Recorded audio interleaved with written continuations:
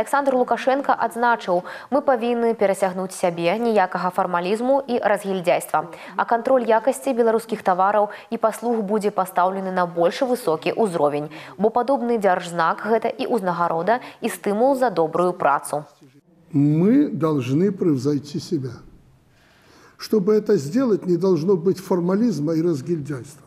Что-то для галочки провели, отметили, все хорошо. Этого быть не должно и не будет, это я вам обещаю. Поэтому настраивайтесь сразу с первых дней этого года на трудную, тяжелую работу. Мы определили очень амбициозную цель – поставить контроль качества производимых товаров и услуг, качества жизни страны на более высокий уровень. Мы пришли к такой ситуации, когда надо подниматься на ступень выше, а может быть и на две ступени. Если кто-то не знает, с чего начать, ну, начинайте с себя. Вовремя приходите на работу и делайте свое дело очень качественно.